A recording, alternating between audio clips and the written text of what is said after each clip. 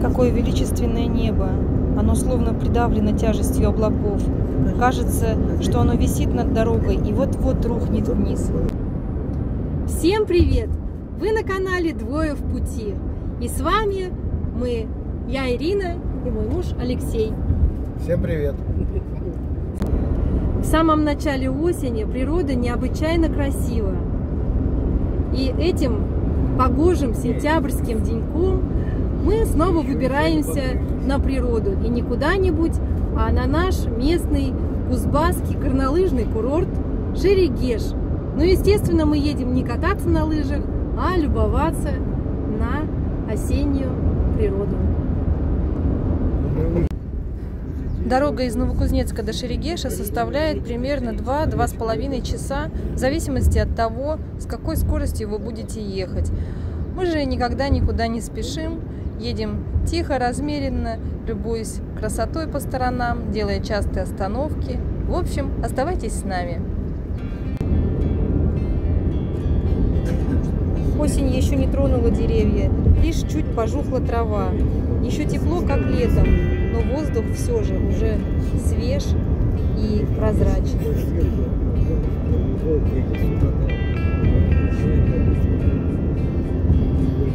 Мы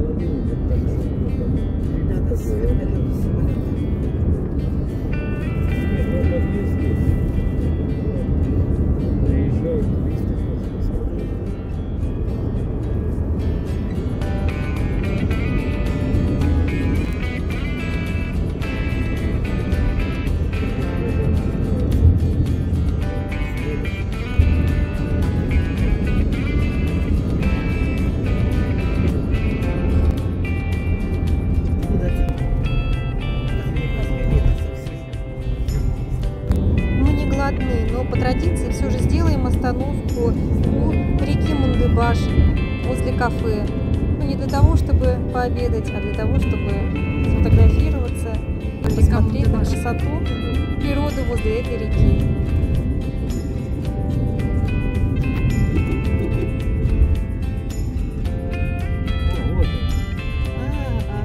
Знакомый веселится. Кому-то он там кипятит. Продолжаем. Что будем, будем искать? Как ее делать?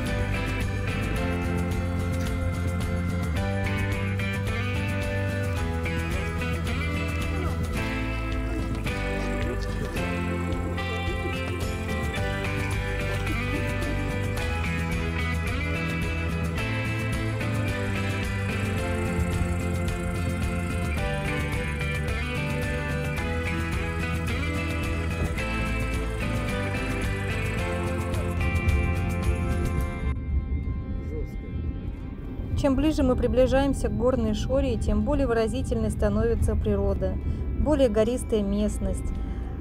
Немного изменилась и растительность. Лиственные леса разбавились хвойными деревьями, и вершины елей и сосен своими темно-зелеными верхушками красиво украшают эти горы.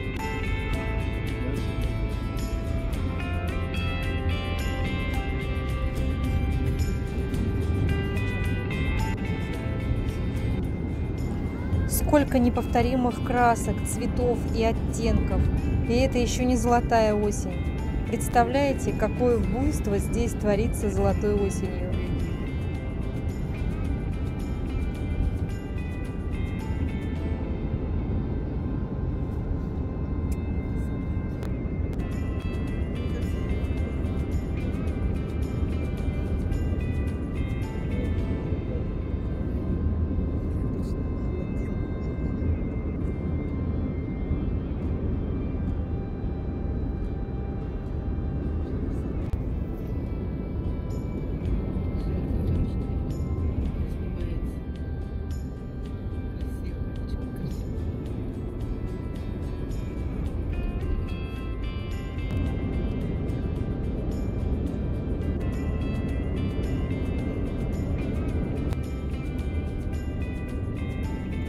Итак, дорога на Таштагол пошла прямо. Мы же в районе поселка Чугунаш повернули налево, где нас встречает 27-метровая часовня. Возведена она в 2010 году в память об узниках ГУЛАГа, которых при строительстве рудников и железной дороги еще в 30-е годы погибло здесь очень и очень много. До поселка Шерегеш остается примерно 16 километров.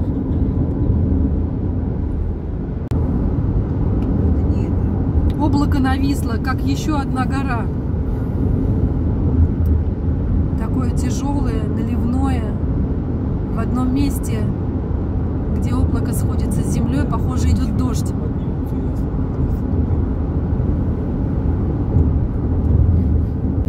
Вот впереди показался сам поселок Шерегеш. У подножия гор.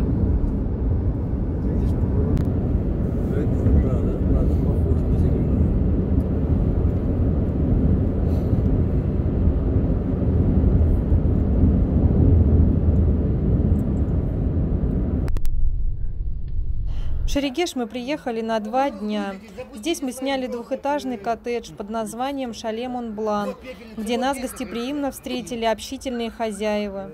И пока хозяин проводил нам ликбез о правилах проживания в этом коттедже, я немного сняла этот коттедж снаружи.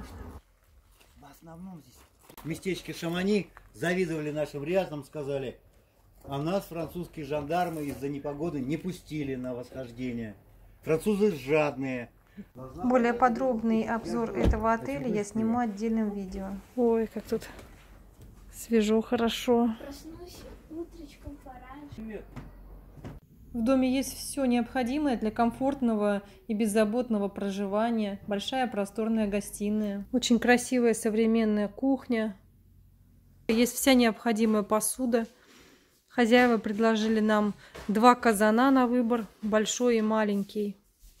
Есть посудомоечная машина, микроволновая печь, холодильник, духовка, чайник и термопод.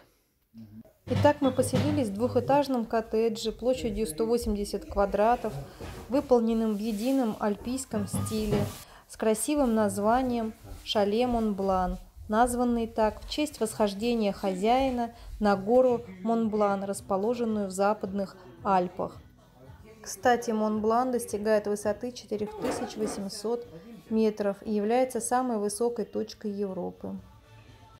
Камин можно включить и для подогрева, и просто для антуража. Ну и как русскому человеку без застолий и без вечерних посиделок под гитару? Это ты. Я без тебя блуждаю в дебрях пустоты. В твоих руках я лист и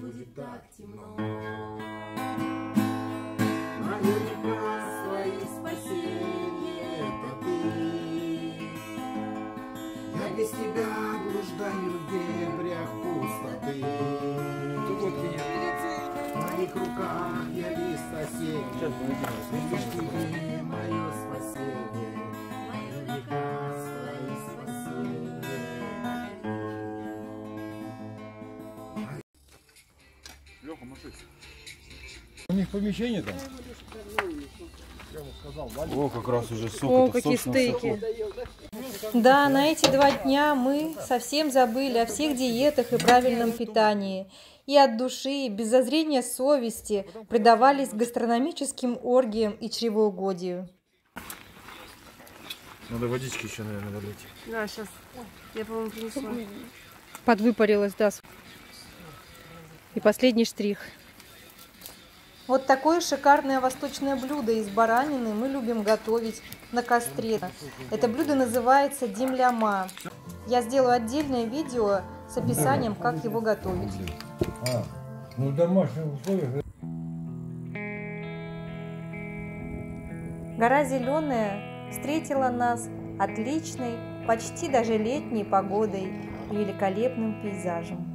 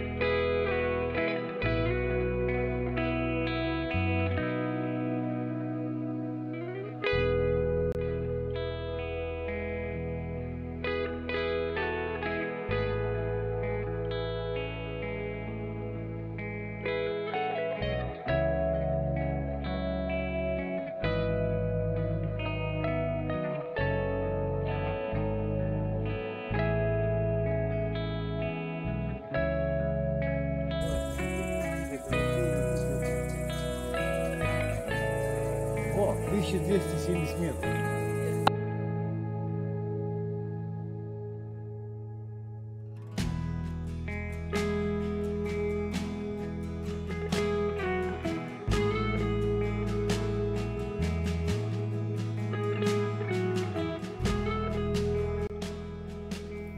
Какое-то окно, окно куда-то.